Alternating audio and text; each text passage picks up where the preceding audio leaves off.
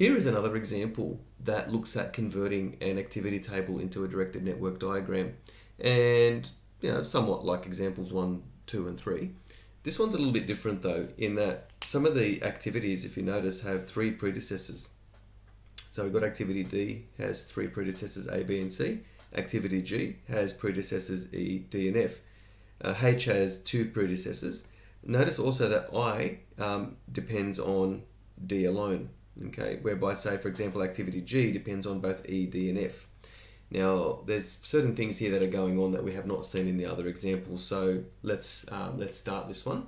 Now, again, I recommend that you uh, draw these network, directed network diagrams in pencil first, because chances are, look, you're probably going to make a mistake somewhere, or you may have to redraw the diagram to accommodate, you know, some, uh, I guess, some some connection or, or some sort of a relationship that you can see here between an activity and its predecessor. All right, so let's begin. We'll draw our starting vertex. Okay. You notice also that A, B, and C do not have predecessors. So let's start with those. Okay. Right. Now we have activity D depends on A, B, and C. So again, to avoid our um, multiple edges, okay, we'll draw in our dummy activities, okay, and then we can draw activity D. Okay, now, something here we just got to be very careful about, okay, activity G depends on E, D, and F, yet activity I just depends on D alone, okay.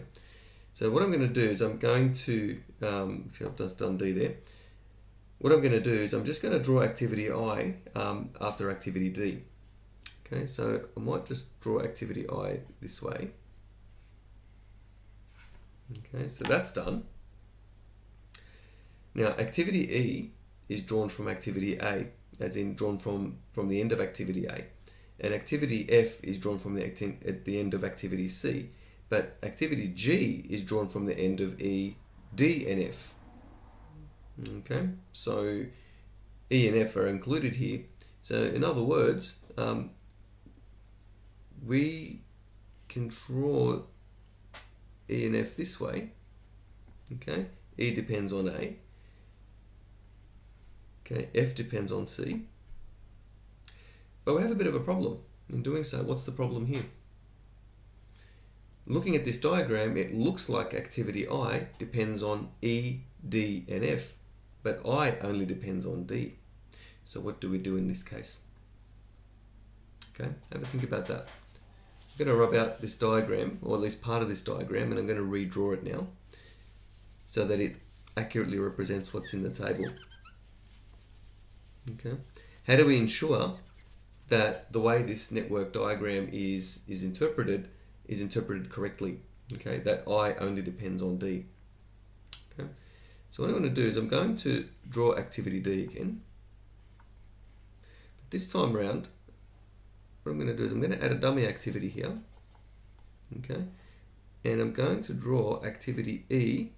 Okay, so that's that one there. And I'm going to draw activity F joining or joining together here at this vertex which is drawn at the end of a dummy activity that's drawn after D. Now I can draw in activity I. Okay, so now activity I comes off activity D exclusively.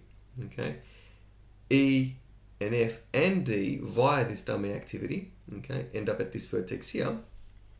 Okay, so I can, um, now what I can do is I can now draw in activity G. Activity G depends on E, D, and F. Okay, so that's G. Okay, now H depends on A and G. Okay, so there's A here. Okay, and there's activity H. Okay, but activity H also depends on A. Okay. So the way I'm going to basically show that is again through a dummy activity. Okay. That way. Okay, so that's H. Now finally, H is one of the, it's, it's a terminating activity. In other words, it's an activity that occurs just before the end. But so is I for that matter. So we're going to need one more dummy activity. This way. Okay, so just be careful when you're drawing these network diagrams that it's very important that you do show the, the dummy activities and, and in fact all the activities um, correctly and without any ambiguity. Okay. Or, or any sort of lack of clarity. It's important that it's very clear that anyone looking at this diagram can clearly see that there is a you know what the connections are where the dummy activities are